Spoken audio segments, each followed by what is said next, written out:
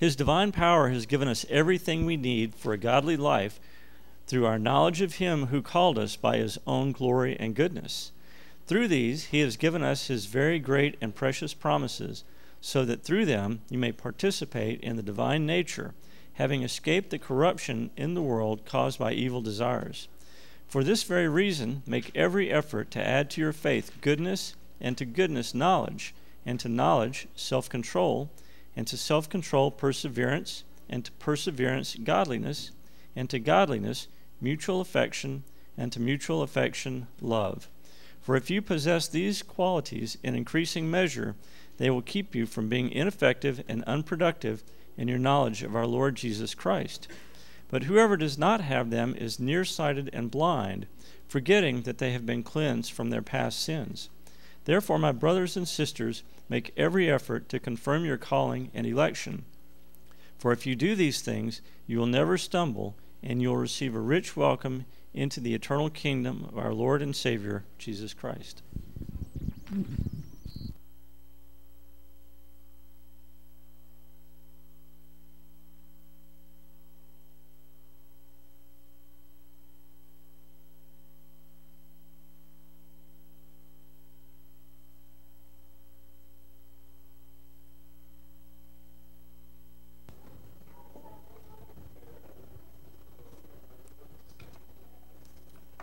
You'll bow with me in prayer. Father in heaven, we do thank you and praise you for all of your goodness, Lord, for the things that we don't even know that are going on, this marvelous plan that you have for salvation and the, the fact that we are a part of it, that you've had from the beginning of time as we know it, Lord. Lord, we long for the return of Jesus. Help us to fix our eyes on, on things above and rather than on things below and to realize just a glimpse of this great salvation that you have and the plans that you have for us in this world. Help us to grow strangely dim to the things of this world that attract us so much, but to, to seek out your kingdom and your will be done. Open our eyes and ears to hear your word today, Lord. Quicken us through your spirit to be the hands and feet of Jesus Christ in this world. And we pray this in Jesus' precious name. Amen. So I entitled this Love Story Continues. Last week, I wanted to point out to you that even the book of Ezekiel was a love story told about the hope of Jesus Christ and how Ezekiel gave up so much, or at least we kind of look at it that way, but really did he? Isn't his life God's in the first place? Isn't your life? And especially if we've been redeemed by the blood of the Lamb, purchased back, isn't his life even more, you, uh, isn't our life even more his? Do you look at it that way? Did you think about the things that Mark just read from Scripture? You, sh- you should have read this week some of Samuel. You should have finished Ephesians, read 2 Peter, and started on Timothy. Did you read all of that? Okay, now ask me back. Did you read all that, Pastor? No. So keep me accountable. See, I'm going to tell you, I, I, ask you every week to keep you accountable because, see, the way to uh, develop a relationship and to keep that relationship going is we spend time with each other. That's why Jesus had to remind the church in Ephesus that they have fallen out of their first love. Because when you do things together, in the beginning, you, you seek to do more and more things because you want to spend time with that person. This week, we went fishing with Francine and Richard, spent time with them. We weren't really fishing for men, we were fishing for other fish. And Francine skunked all of us, but that's neither here nor there.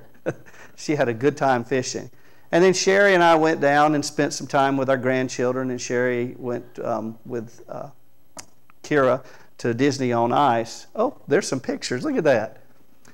And don't don't think I didn't spend time in God's Word. I spent plenty of time because I study God's Word. I feed off of it. I nourish on it just as much as we go out and eat all those wonderful foods that we eat. Are you doing that? So I don't feel guilty at all that I didn't read Samuel, but I want you to help keep me accountable because I spend time every time that I can reading God's Word, spending time in His Word so I can get to know Him better, so that my relationship grows and matures. And I hope you understood that from reading Ephesians, and I hope you understood that more from, from Peter. As I read, I spent time divulge, diving into God's Word and everything, and I just said, you know, rather than trying to tie all this together, especially since I'm going to be stressed to try to read Samuel and especially study it as we're going along, I'm going to give you the continuation of the story through Ephesians. And hopefully you can tie that together with what you've read in Peter and everything else. Because in the first part of, of Ephesians, God tells of everything that He has planned through Jesus Christ, which is what Mark read last week. That everything is because of Jesus. And you know this marvelous mystery that's been made known to you now, that all of the prophets spoke about, and everything points about Jesus. And that's why I try to tie the Old Testament together and remind you again that the early church and the prophets and apostles had the Old Testament to teach about Jesus, that He was the Messiah.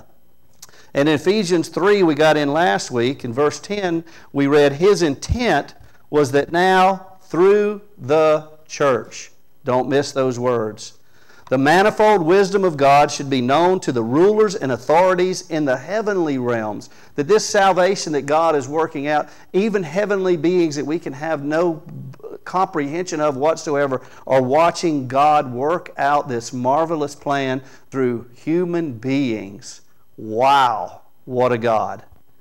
Verse 11, according to his eternal purpose that he accomplished in Christ Jesus our Lord. That our Savior, our King, that God Himself left heaven, became flesh and blood, took our sin and shame upon His soldiers. Let us spit in His face and crucify Him so that He could die for our sins and pay the price for our sins so that you would be forgiven, that you would have no penalty of death and the power of sin and death, but no, no power of sin in your life as well. Do you realize that you're born from above if you believe in Jesus Christ and put your faith in Him? So, if you're born from above, are you maturing and living as Christ in this world? If you're not, it would have been just as well for you to have been taken out of this world and go on to heaven. But He left you here with a purpose to be his hands and feet. Verse 12 In him, in Jesus, and through faith in him, we may approach God with freedom and confidence. Have this relationship with God that the Old Testament prophets could not even probably even begin to comprehend. They knew of the hope. They knew what the Spirit was pointing them and telling them to say, so that us together, as Hebrews would, the author of Hebrews would write, would work out this salvation together, that only together. And in verses 14 to 19, we understand this comprehension just a little bit. So Paul prays and prays, which we're going to see at the end of uh, Ephesians also. Oh, and that reminds me of John chapter 17, where Jesus prayed, not just for the disciples that were left in the world that day, but for everyone that would believe.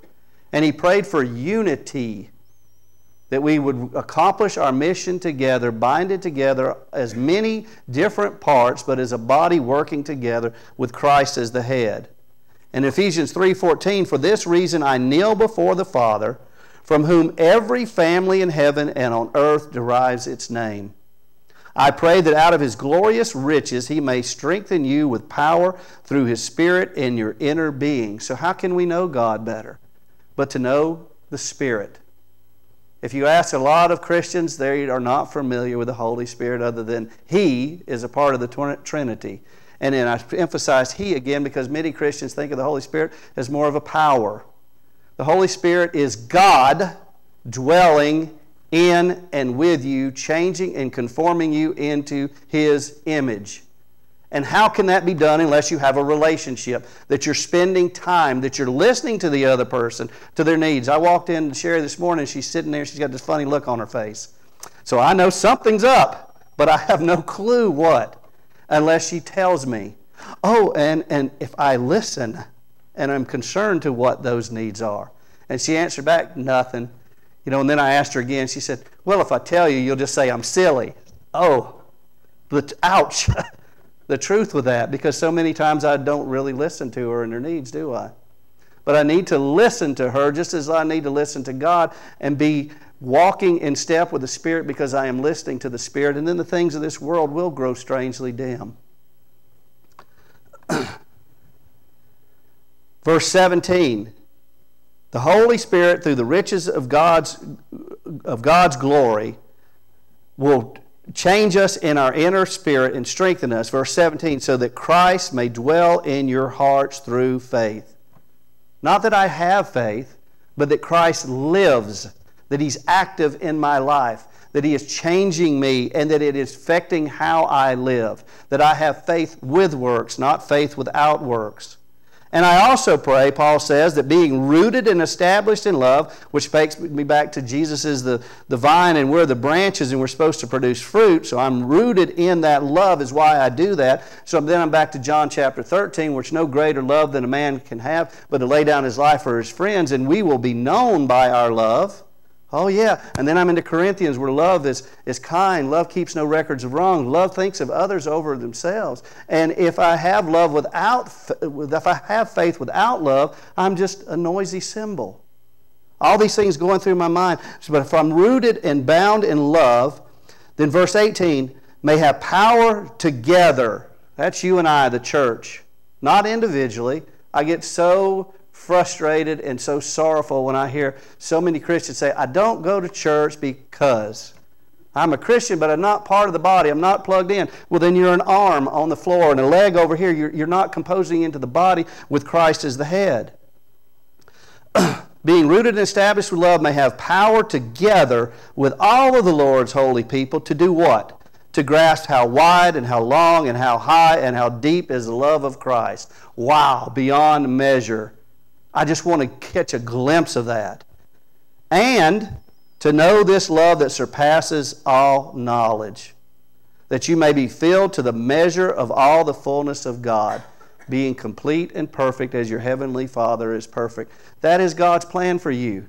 To grow to spiritual maturity, to be like Christ in this world, not to make excuses for why you can't, not to worry about the things of this world. Oh, the things that Jesus has said, the Spirit is revealing to me. Why do I worry about these things? Why do they control how I live and stuff? Why do I fear about them? Why don't I just live by the power of the Holy Spirit as He directs me to live? Won't my Heavenly Father supply all of my needs? Don't I want His will be done and His kingdom to come? Or am I still holding on to my own desires? Am I still holding on to the flesh? So here we are in chapter 4. And it starts out with, therefore. Everything that's been presented so far in Ephesians. And Paul makes sure that he says that I am a prisoner. He's not talking about his physical state of where he's at. He's talking about he's a prisoner for the Lord Jesus Christ. Don't take just the things that you read like the bread of life and not take the spiritual part of that. He's saying, I am a prisoner for Jesus Christ. I don't care if I'm in chains or not. I'm working for Him, for the kingdom, for your benefit, and for those that hear the message after you. Therefore, as a prisoner for the Lord, then I urge you, or I beg, or I plead to do what? To live a life worthy of the calling you have received. Do you know what that calling is? Each and every one of us have a calling to serve our Lord Jesus Christ, to be his disciple, to be like him, to be to let him make us into fishers of men. Be completely what then? Humble. Are you? You sit here and think about these things as you read them? Gentle, Patient? Oh, my wife wouldn't have said what she said to me this morning if I did that. and the more time I spend with God, more that the, I can hopefully listen to the Holy Spirit and see these things and know that I have an advocate here living in me and an advocate in heaven with Jesus Christ. Bearing with one another in love. There it is again. Getting along with each other bearing with them, comforting when we need to comfort, crying when we need to cry, rejoicing when we need to rejoice, and realizing that we're all tied together with Christ as a head. Verse 3 Make every effort then to keep the unity of the Spirit. The Spirit that seals us, that calls us God's own, the Spirit that, spirit that empowers us, the same Spirit that hovered over the waters, the same Spirit that rose Christ Jesus from the dead. You think we can have unity and you think we can our body can function properly without that unity of the spirit? Through the bond of peace. Blessed are the peacemakers. Do you pursue peace? No, I'm serious. do you pursue peace? Or so many times when something comes up to you, oh, or do you just pursue peace? Do you have the peace that surpasses all understanding because you're a brother or sister of Jesus Christ? It all depends on how you look at things. I mean, there's that saying, don't pray for patience because look what God will give you. But as you look at things and you feel this way, but the way you used to be, realize that the Spirit gives you the exact opposite if you will just listen and take what the Spirit is giving you. If you have a trouble, if you have trouble with patience, oh, guess what? That's why these problems come along to teach us patience. But if we would just listen to the Spirit instead and be long suffering and kind, Because the Holy Spirit is telling us to do that, but we're not listening and spending time. So we need to read, we need to pray, we need to pray that God's will be done and mean that. And know that blessed are the peacemakers. Make every effort to keep the unity of the Spirit through the bond of peace. So then we read next this thing about oneness. There is one body and one Spirit. There's one church of Jesus, one body with Christ as the head, and one Spirit that drives us to be like Christ, that makes all of that work. The power we're plugged in through Jesus Christ, and the power is what's flowing through. If you want to take electricity and think of that, is what makes us run and function. Without plugged in, there is no power. Without realizing that there's power and using that power, what good is it? There is one body and one spirit, just as you were called to one hope. Oh, if we were living for the hope rather than living for ourselves, if we were building treasures in heaven rather than things on earth, if we weren't worried about the things here and worried about souls instead, wouldn't we write everything on our doorposts? Wouldn't we tell our children about things when we get up, when we go about, when we sit down, when we go to bed? Wouldn't it be what you focus on rather than focusing on other things? There are so many things that we focus and spend our time and our money and our effort on and teach our children that are not about God and the love that He has for us through Jesus Christ. If we spend more time doing that, I wonder if we could call those things idols or other loves. There is one Lord, one faith, one baptism, one God and Father of all. And He's already said in verse 14, of chapter 3, the Father from whom every family in heaven on earth derives its name. One God and Father of all, who is over all and through all and in all. You belong to God whether you're living for Him or not, whether you've been redeemed by the blood of the Lamb. So, shouldn't you live even more if you've been called and redeemed by the blood of the Lamb? Shouldn't you live for Him? And quit trying to live by your own power and your own might. Verse 7 But to each one of us, grace has been given as Christ apportioned it. There's a but there, there's a conjunction. Maybe it's an and, but most scriptures do it as a but because it's an opposite. Because I see all this oneness, and then there is these individual parts. And if I don't realize it, I'm going to take focus on the individual parts, what my ministry is, what my grace has been given to me, whatever, rather than saying, oh, God gave me this so that it could be blended together with the body to serve the head, which is Jesus Christ. Doesn't matter if I have the gift of pastoring or not, or the gift of teaching or not. Well, as we read on further, my gift is to teach you to be obedient to do God's word. We all have to function together to do the necessary job that the body parts have to affect the whole and follow the, the guidance of the head. Ephesians 4 8. This is why it said, when he ascended on high, he took many captives and gave gifts to his people. What does he ascended mean except that he also descended to the lower earthly regions? He who descended is the very one who ascended higher than all the heavens in order to, f- to fill the whole universe. Now, so many times you can get off on theology here that may not even be here, you may not understand. It simply says, Who is the one that humbled himself and came to be flesh and blood? And then, because he finished the job that was God sent him to do, because God loves you, and he finished it and said, I will never forsake you or orphan you. It will be better for you if I leave so that you can do the job that I've called you to be, to be my disciples, to be my brothers and sisters. And then he went back and was glorified. Aren't we supposed to follow in his footsteps? Verse 11 So Christ himself then gave these gifts. And this is just a sampling. You can read in other places apostles, prophets, evangelists, pastors, and teachers. And there's no certain hierarchy here.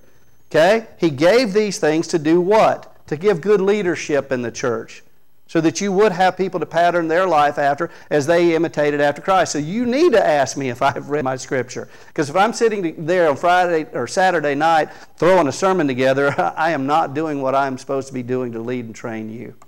I am supposed to shepherd you as Christ shepherds me. And I have to spend that time with Him, following after Him, presenting what He wants me to present to you, not what I want to present to you, and making sure that I do it with truth.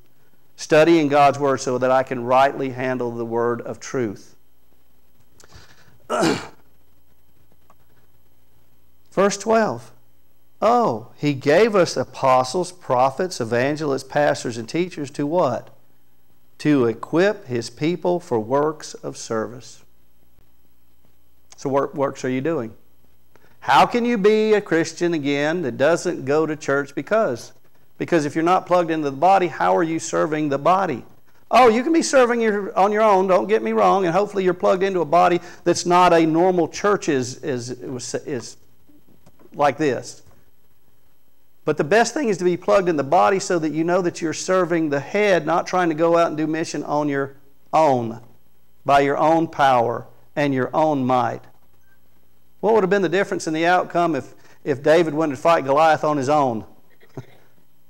Wouldn't be quite the same story that we have, was it? It is to equip us, every single one, for works of service. Why? So that the body of Christ may be built up. Jesus said, I will build my church, and the gates of hell will not prevail against it. Oh, building the kingdom of God. Because we need to repent, for the kingdom of God is at hand. We need to know that we're wor- worshiping the King and serving the King, pledging our allegiance for Him, because if we're not serving one master, we're serving another, aren't we? Until, verse 13, we all reach what? Unity again in the faith. Because we believe, empowered by the Spirit, we're unified with one goal, one purpose, one body, one God, one hope until we meet Jesus Christ face to face. Is that what's happening in the church? Is that what's happening in your life? Do we all realize this is the same mission and the same hope that we have, the same Lord Jesus Christ, the same Spirit that is changing us into Him, that is maturing us? Until we all reach unity of faith and in the knowledge of the Son of God and become mature.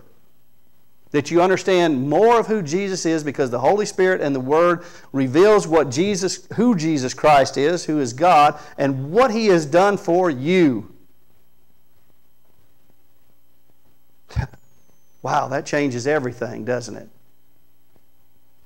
Because all this time in my old sinful nature, I'm who I think I am.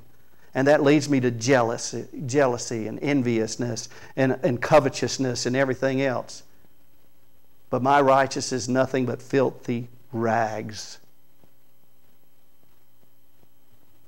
But Jesus Christ became flesh and blood and dwelled among us. And while we were still his enemies, Christ died for us. So that we could become mature attaining the whole measure of the fullness of Christ. What Paul continues to pray for. Then we will no longer be infants. For infants, that's a little bit bigger than the, than the baby stage and the toddler stage, isn't it? I mean, we've progressed some, but we don't want to stay at infants. We want to mature to be like Christ. So we must feed, we must learn, we must put into practice. What good is if we feed and what if we learn Scripture and can quote them left and right, but don't practice it in, in our lives? Love your enemy. Come on. Turn the other cheek. Without it, we're tossed back and forth by the waves and blown here and there by every wind of teaching and by the cunning and craftiness of people in their deceitful scheming whether they realize they're working for the prince of this world or not. Just to distract you from the truth. Say, it's okay. Instead, verse 15, we're supposed to speak the love, the speak the truth in love. You got to know the truth, first of all. And second of all, you've got to know it in love. So that people do see our lives, see that they're different, and, and wonder why we are different that our good deeds do glorify our Father which is in heaven. Speaking the truth in love, we will grow to become, in every respect, the mature body together, even, of Him who is the head. That is Christ. From him, the whole body, joined and held together by every supporting ligament, grows and builds itself up in love. Oh, as each part does its work. So you can have a church that is motivated by love and has all these missions and everything else, but is still divided and there's still a dysfunctional body. Scripture's clear here. Jesus will change us through the Holy Spirit as we spend time developing that relationship into Christ and we will be one in unity. Oh, back to John chapter 17. What did Jesus pray for? Unity in the body. So that we would not fall away, especially when persecution comes. Ephesians 4:17. So I tell you this, there's a therefore, if you didn't catch it, and insist on this in the Lord, that you must no longer live as the Gentiles do in the futility of their thinking. So I have to think now, how do I live differently than this world that I live in? Because this is not my home. I'm an exile, I'm a foreigner here. So how do I live differently than the person down the road, wherever it is, a relative that I have that doesn't know Christ Jesus? How do I live differently? Let me ask you then, how do you live differently? Because sometimes when I answer that question, I don't see a lot of difference. Do you? Is your light shining brightly? Who would light a lamp and then hide it under a bushel? No. It's to give people in that room light. So are you shining? You must no longer live as the Gentiles do. They are darkened in their understanding and separated from the life of God because of the ignorance that is in them due to the hardening of their hearts. Oh, so if I worry about the things of this world, if I'm focused on the desires of this world, I'm hardening this heart of flesh that Jesus gave me when He gave me the Spirit to transform me into the image of God. I'm doing the exact opposite of what the Spirit is trying to do in my life. So if you have a heart of flesh, is the Spirit molding you? Verse 19, having lost all sensitivity, then, they have given themselves over to sensuality so as to indulge in every kind of impurity, and they are full of greed. That's not me, though, till I examine myself, is it? What is greed in the first place? We're going to get to that again in a moment because he's going to mention, I'm not greedy, am I? Hmm this path that we go down when we don't follow the way, the truth, and the life. Verse 20, that, however, is not the way of life that you learned when you heard about Christ and were taught in Him in accordance with the truth that is in Jesus. Ah, he is the way, He is the truth, He is life, now and forevermore. So, how do I live differently? Verse 22 You were taught with regard to your former way of life, put off your old self. But this clothing's so comfortable, I like it. It fits me, it's broken into me. I don't even know how I look in that other clothing. I mean, I look good in this. No, just kidding. Put off your old self, which is being corrupted by its deceitful desires. Oh, the spirit is willing, but the flesh is weak, right? I wouldn't want to call this greed a form of idol worship, would I? Hmm. Verse 23 to be made new in the attitude of your minds. Well, I've got to go over to a key verse that you should know. Therefore, brothers, Romans 12, I urge you, brothers and sisters, in the view of God's mercy, something you didn't deserve at all, something you can't claim any righteous standing for. You deserved his wrath, but because of Jesus Christ, in view of his mercy, offer your bodies as a living sacrifice. Now that takes me to Peter, which we read this week, because we're priests presenting sacrifices pleasing to God, drawing people. Bodies as a living sacrifice, which is holy and pleasing to God. That is your true and proper form of worship. Here it is. Do not conform to the pattern of this world, but instead be transformed by the renewing of your mind, changing that way of thinking so that your heart can be changed. Are you doing that? Be transformed by the renewing of your mind. Then you'll be able to test and approve what God's will is. So, as you read God's Word even more and the Spirit guides you into all truth, you'll understand even more. You might even see something before that you didn't think was a sin, and you might think it is now. And if you do, then act upon it. Paul said he would never eat meat again if that's what he had to do.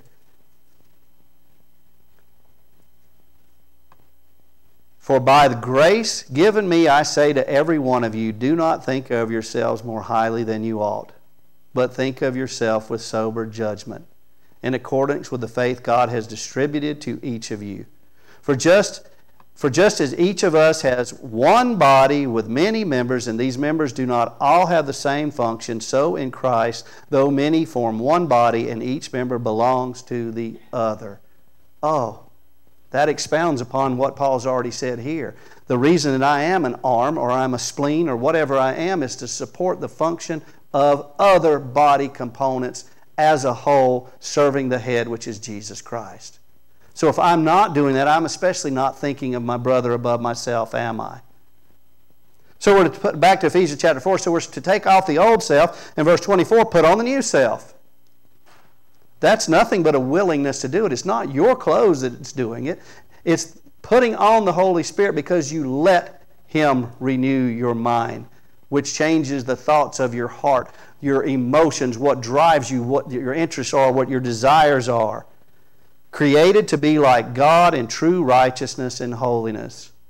You can't have that salvation without realizing that you're sanctified and set apart for holy use for God in His service.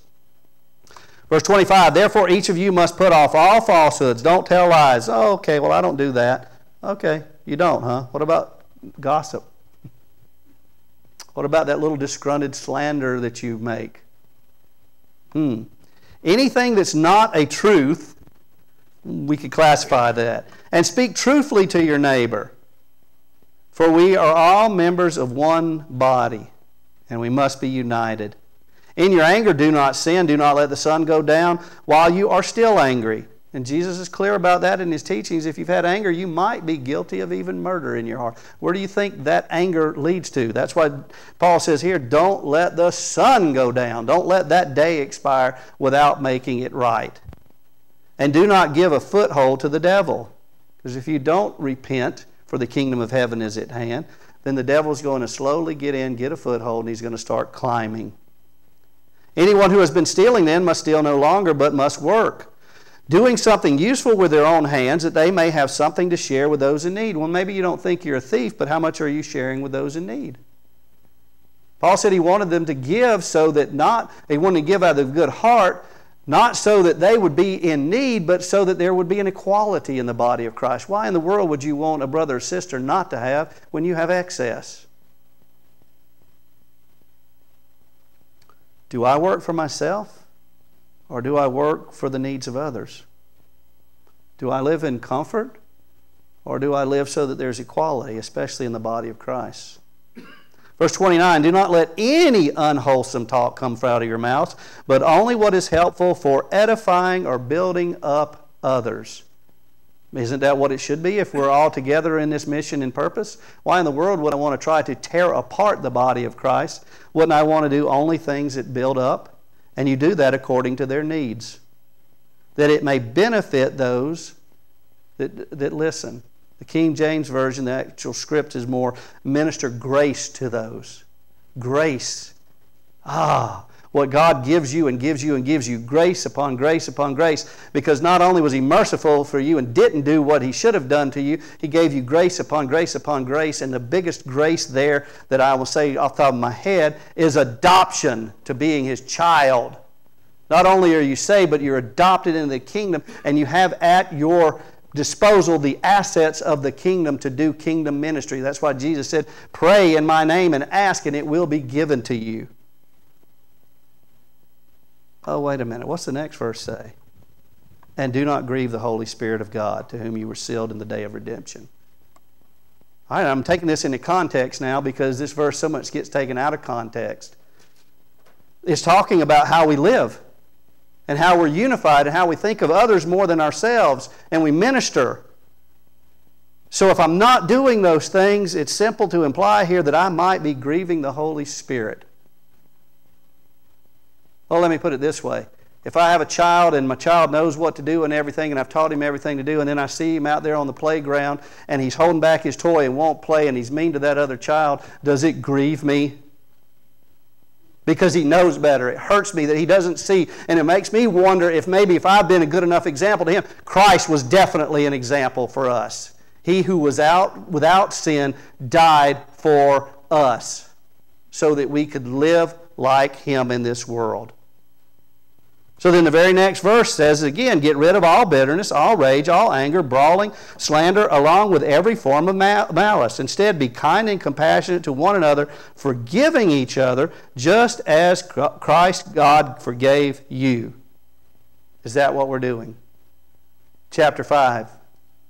Therefore, again, follow God's example, therefore, how as dearly loved children Adopted not because of who you are, but because of who God is, that He decided to adopt you and make you His very own and give you an inheritance.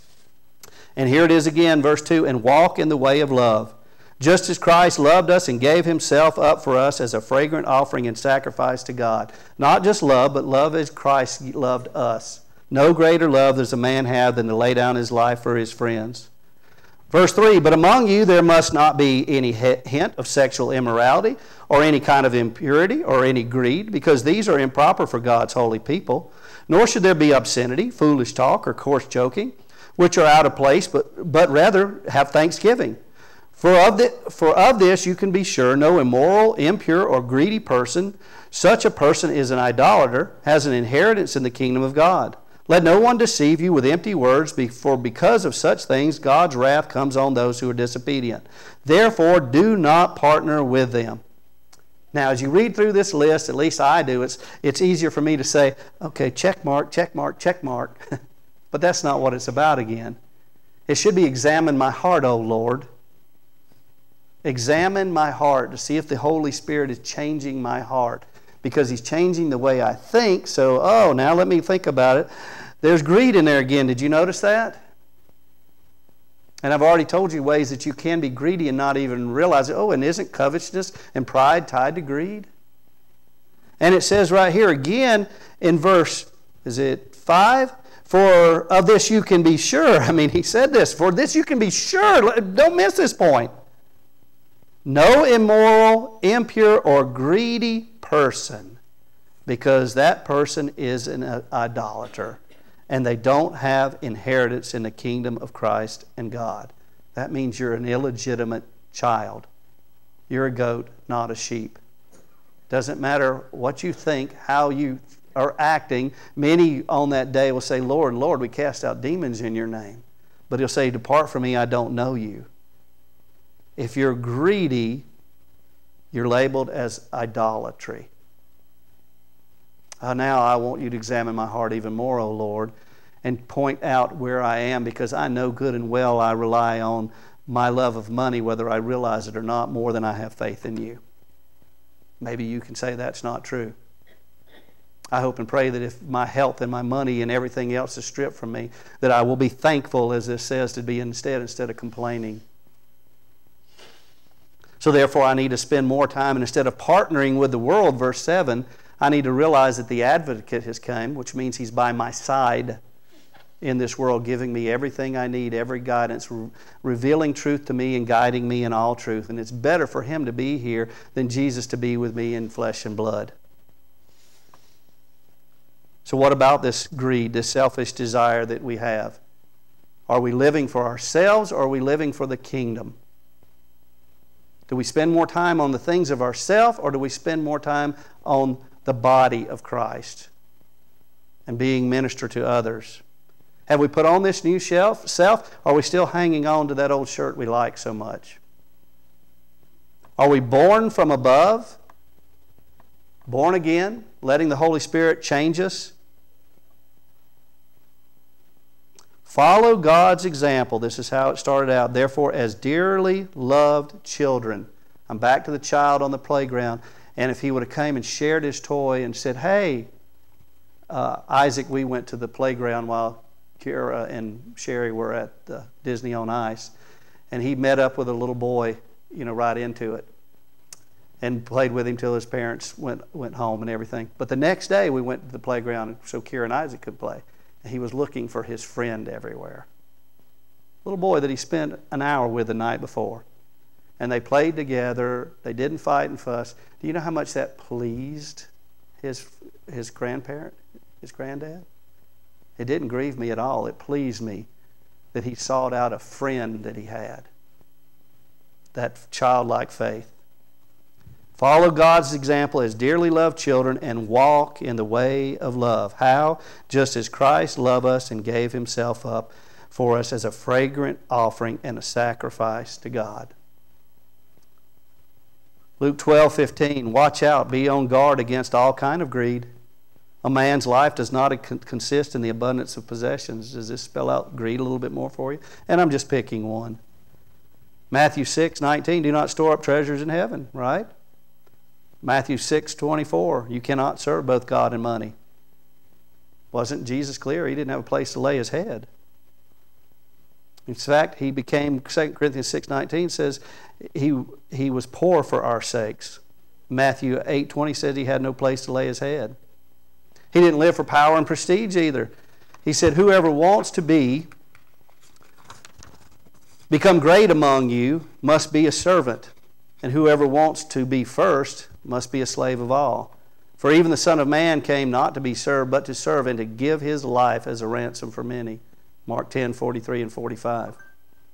Greed and its desires, its other loves, are a trap that gives Satan a snare and it's a road to destruction instead of the way, road to life. The love of money is the roots of all kind of evil. Do not put your trust in wealth from 1 Timothy. Covetousness, excess, even comfort can be forms of greed or idolatry. That's why Paul wrote, For of this you can be sure no immoral, impure, or greedy person, such a person is an idolater and have no inheritance in the kingdom of Christ and God. So let no one deceive you with empty words. Because of such things, God's wrath comes on those who are disobedient. Therefore, do not partner with them. Ephesians 5, verse 8 then, for you once were in darkness, but now you're the light of the world. Live as children of light. There you go. For the fruit of the light consists of these things all goodness, righteousness, and truth that's why you have to take off the old, not hold on to it, not partially clothed, which we're going to get to the, the, to the armor battle for this battle we're fa- fight, facing in a minute. In verse 10, and find out what pleases the Lord. How can you do that again unless you're spending time? I wouldn't even know anything was wrong with Sherry at all if I didn't spend time with her to know having nothing to do with the fruitless deeds of darkness, but rather exposing them, because that's why we're children of light. It is shameful even to mention what the disobedient do in secret, but everything exposed by the light becomes visible, and everything that is illuminated becomes a light.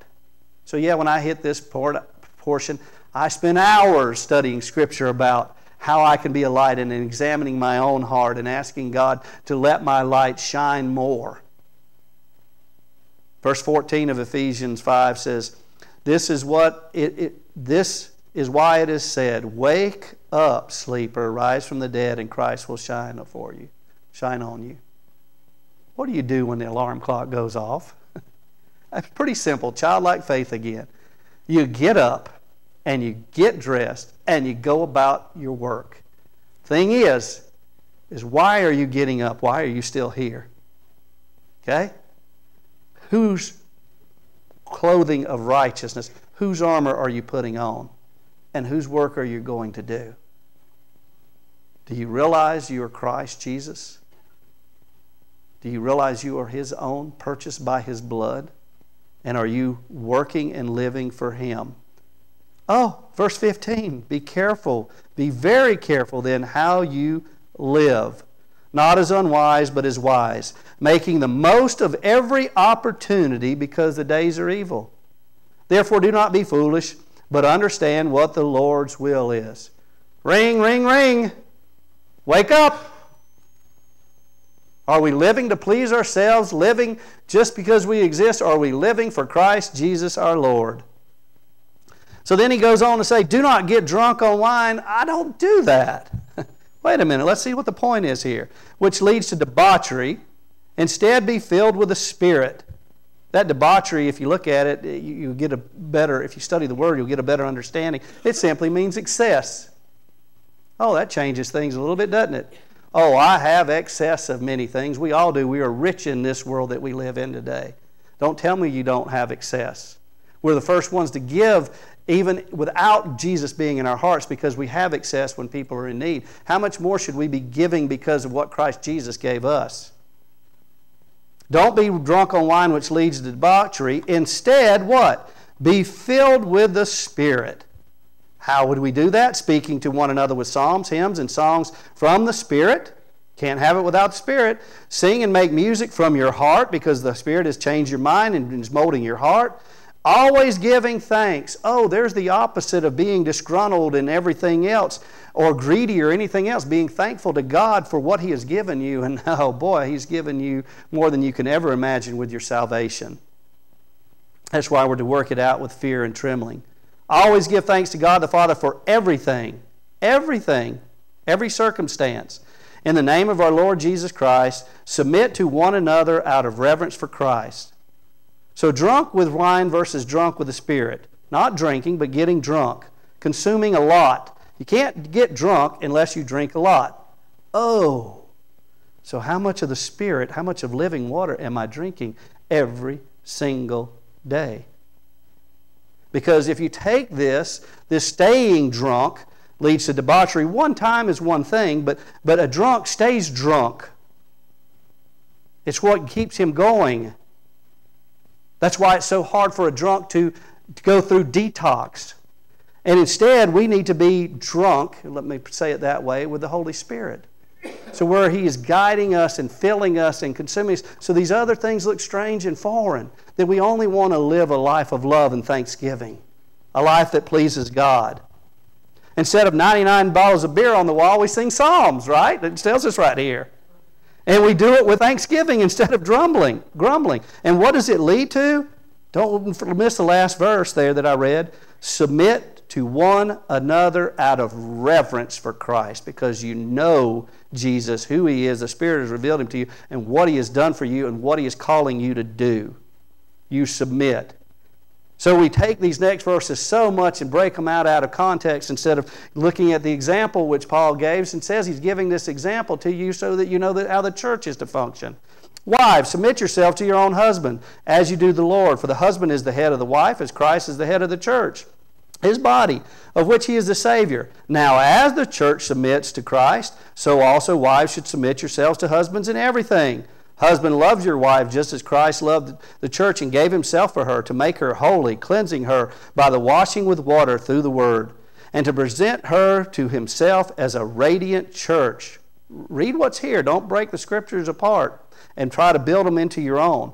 Without stain or wrinkle, any other blemish, but holy and blameless. Whenever I get mad at my wife, the first thing I think is this scripture right here. How do I love as Christ loved me?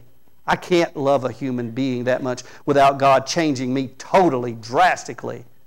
And I can't love my wife, especially who I should love the most, who God gave me to complete me, to walk beside of me, because she's the one that aggravates me the most, because we spend the most time together. But then I think about it and I say, I'm supposed to love as Christ loved, and I, I ask for that. Oh, and I get why? To make her holy.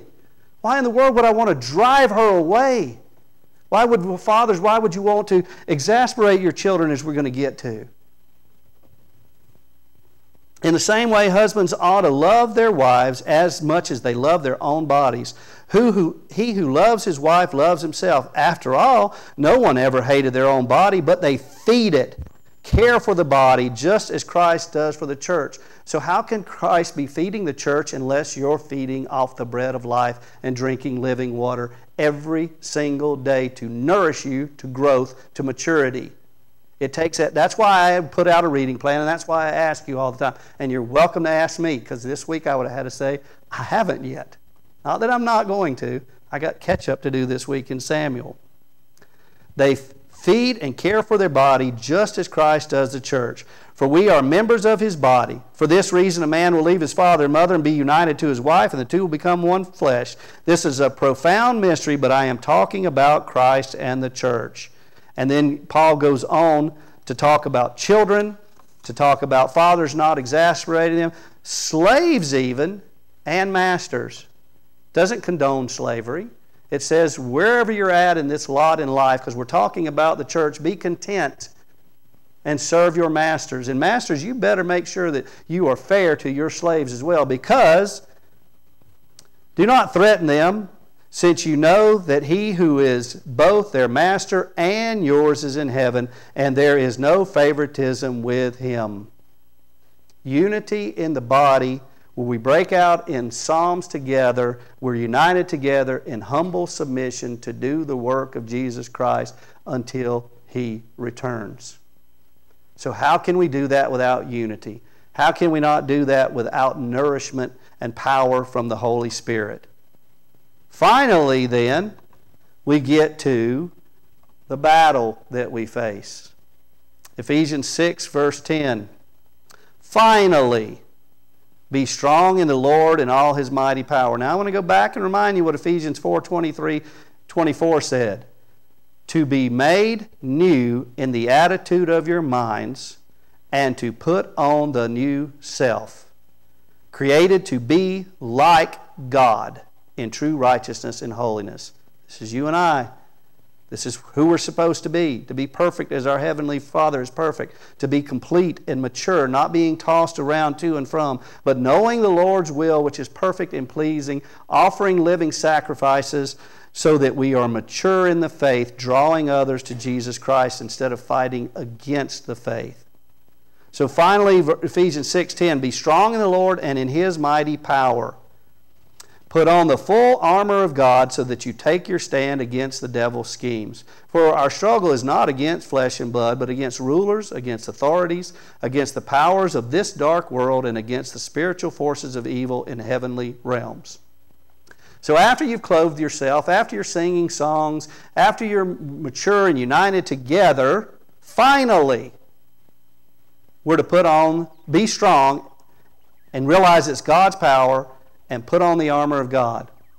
Oh, I don't need to worry about what I'm going to eat or drink or anything else, what I'm going to be clothed with. I don't have these worlds. That's what the Gentiles worry about. That's the way I used to live in darkness till the light came to me, and I shine as light, a child of light, because I realize who I am in God and what He's done for me, and I can't help but tell others and live as a child of light.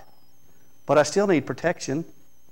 I need to know that the battle was done when Jesus Christ submitted himself to God and laid down his life on the cross for you and I. He said that the power of Satan had been stripped from him at that time, but we still fight this battle as long as we live. It's still hard. I still struggle with my sinful desires. Paul said, I continue to do things that I do not want to do. And then he said, Thank goodness for Jesus Christ through the Holy Spirit, Romans 8. Finally, be strong have your strength in the Lord and His mighty power. Even going back to childlike faith again. I rely on my dad to take care of me. I don't worry about where the next meal is coming from or anything else. I know my father there will take care of me. That's all I need to know. And I need to listen to him and follow in his instructions. So that you may take your stand against the devil's scheme. Not so that you can advance or anything else, but you can stand. That you can stand your ground wherever God has called you to be, standing together as the body of Christ. For your struggle is not against flesh and blood, but against rulers, authorities, and powers in this dark world. I have no clue what all's going on out there. But I know if my eyes are open, I might see angels standing all around. I know that I don't need to see any of that to know what Jesus Christ has done for me against the spiritual forces of evil in the heavenly realms till everything is put under the authority of Jesus Christ.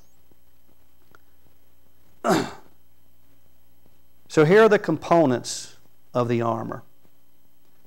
Therefore, put on the full armor of God. Not part of it, not a piece at a time. Would you ever do that to go out to battle? Childlike faith here again. There's a battle going on. I need to put on my armor. I mean, oh, did I say that? How many times do you say that? How many times do you get up each morning and say, I'm going to face this today? Or how much do you get on your knees and say, God, I don't know how I'm going to face this today? But help me to be thankful. Help me to be kind. Help me to keep no records wrong. Help me to love even my enemies. Because there's a battle going on. And each day is different. You don't know how that battle is going to be staged. Put on the full armor of God so when the day of evil comes. Oh, wait a minute. We're in the battle all the time, but there's a day when evil comes harder. Oh, yeah, there is. There, you know that. There are times in your life when you face things you didn't face yesterday. What is your first reaction? How am I going to face this? Oh, why is this happening to me? Or I can do all things through Christ who gives me strength. Not an if, but when. Because the battle is constant, but sometimes it becomes more intense. When the day of evil comes, you may be able to do what? Stand your ground. All God has asked you to do is stand up. Take off the old self, put on the new self, because the Holy Spirit will do that for you, and then put on the full armor of God. And after you have done all of this, stand. There it is again. Stand firm then. Here's the components with a belt of truth buckled about your waist. Okay, think about this, and you need a little insight of what the battle attire was of the day. Buckled with the belt of truth around your waist, or girding your loins, or whatever yours said. So there's a belt of truth. A belt holds up your pants today. A belt in that day would have secured like the sheath for their sword. It would have held things together. It had a protective plate over your privates because you're going down fast if that happens. Okay? And it was able where they took their garments and tucked them in so if they had to advance, if that's what it's called upon, they wouldn't trip and fall. So this belt does many things. So the first thing you need to do is get up and get properly dressed by putting your belt on. Doesn't seem like much of a, a weapon here, but if you go to run and your pants fall down, okay? The belt of truth. What is truth? Jesus is the way, the truth, and the life. Don't study God's Word so that you know what is truth. The Holy Spirit will guide you into all truth. Don't be tossed to and from by these things that are non truth.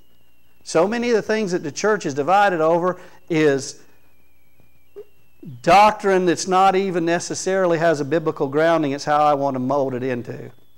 It doesn't matter, I'll use this again because I use it as examples. It doesn't matter if there's pre trib, mid trib, or post trib. What matters is that I am facing battle no matter where that happens or doesn't happen.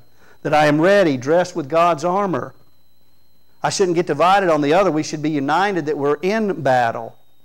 To stand firm belt, with the belt of truth buckled around our waist. Oh, that also implies that I need to be truthful, don't, doesn't it? Because we just read that. The first thing that, Jesus, that Paul wrote is to put off all lies. How can I be truthful if I tell lies? How can people believe me if I cry wolf so many times not telling the truth?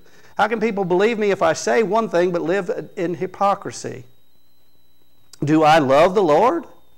Do I love Him with all my heart, all my mind, all my soul, my strength? And do I love others as I love myself? Is this what I practice? All right, then we're supposed to put on with the breastplate of righteousness. Pretty simple again. It's a breastplate, it covers all of our vital organs. It's what helps me to live in that battle if I can keep my pants up. Can I say it that way? It protects my heart because the Spirit has changed my mind. We haven't got to that yet to change my heart so that I live differently, so that I know this battle that I'm fighting. So I have to have righteous living also that comes with that. I can't put on a breastplate of righteousness and say I am for Jesus but live like the devil. My deeds have to follow my faith, don't? As James says, faith without deeds is dead. So as I live righteously, as I put on my clothes, cinch my belt around me, and live righteously, not telling truth, but living, living the truth, living righteously, set apart for God, not living as the Gentiles, then I prepare my feet. and with your feet fitted with the readiness that comes from the gospel of peace. Do you put on those shoes every day? Those shoes are a little different than the shoe, sandals you might have put on before you know Jesus Christ and knew the battle you were facing. These might have cleats in them, these might have steel toed on the end, whatever they are, but they come from the readiness that comes from the gospel of peace. That you present the gospel, which is the good news of Jesus Christ, and you're ready to do it for when that day comes. 1 Peter 3.15, that, that people see it and ask you for the hope that you have. And it's because you've lived a peaceful life in every circumstance. Praising, singing psalms of praise, and thanks, thanksgiving, and submitting to one another to build up each other, not tear each other apart. Presenting the gospel of peace, submission, and u- unity. Verse 16, in addition to all of this, take up the shield of faith. Now you think, if you take up shield, a lot of times when you see the movie stuff, you're advancing and got that shield, but it's told you to stand. Stand firm. Oh, well, now that takes a little bit of difference in how you think of that. If you think of that shield so many times, people would, when the army's advancing upon them in a way that they don't think they can withstand that army, the people link together and link their shields together and put a barrier, raise it up over them to quench those fiery darts, and they make a bubble, so to speak, of the shields because they bound themselves together in unity. and they can hold off an immense army bound together like with that shield of faith. Do you have that kind of faith? Are you building up your brother and sister to have that kind of faith? Because so many times we want to put that shield of faith down and try to fight the battle on our own, even if we have the other components and don't have that shield of faith. When the fiery darts start coming at us, what happens? Our vital organs might be protected, but we might take a fiery arrow in the leg or the arm. But if we bound ourselves together and put up the shield of faith together, oh, with which you can extinguish all the flaming arrows of the evil one. Bound together with God's power, with His army, unified and submitting to our Lord and Savior Jesus Christ. Take up the helmet of salvation again and the sword of the Spirit. You know, one thing about the helmet is a lot of the helmets in that day had tassels on them. You couldn't necessarily identify people except for the helmet that they were wearing. Can people identify you as a child of God? Are you wearing that helmet of salvation? Do you proclaim that Jesus Christ is your Savior, but is He also your Lord? And are you using the sword of the Spirit, which is the Word of God, not to just throw out Bible verses out there, but to tell the truth, the truth that will set them free. Yes, the helmet protects your brains too, besides identifying, which renews your mind, which changes your heart, which you got all that covered in this material. But also, there's two types of swords that the, that the soldiers carried in that day. They carried that big sword, yeah, but in close combat, they also had a dagger type sword that would protect them in that case. If you remember, Jesus told his disciples to take a sword with them. Do you think it was this big old sword, or you think it was a dagger? Remember that you need to study God's Word so that you rightly handle it, and that you put all of God's armor on, so that the Holy Spirit can transform you through and through, not just defend you, but transform you into a warrior for God. Not independently, but collectively. Onward Christian Soldier, right? Maybe we should have picked that song, but songs Sherry picked were, went very well. And then Ephesians 6:18, other than his closing things, sums it up. What do we need to do? Pray, pray, and when we're through, pray some more. That the, our Heavenly Father in heaven would answer our prayers that we know from Scripture the moment that prayer went up, we don't know what the answer is or when the answer is coming, but the moment that prayer went up, it went before God's ears, and He is faithful to answer our prayers in His time, in His way. So you got to have faith. Verse 18, and pray in the Spirit. Who prays when we don't even know what to pray for. He prays with utter groanings for us. That doesn't mean that He doesn't teach us how to pray. He prays for us as He's teaching us because we, our spirit understands. And the Holy Spirit is teaching us the whole time as He's covering us with His prayers. Pray in the Spirit on all occasions, all occasions of battle, because we've just talked about this, with all kinds of prayers and requests. With this in mind, be alert and always keep on praying for all the Lord's people. Now, as you read 2 Peter, I'm sure you had many similarities here, and you understand what Jesus is calling you to do. But here's the thing this sums up what Paul wrote to the Ephesians. Are you in love with the one who gave himself for you?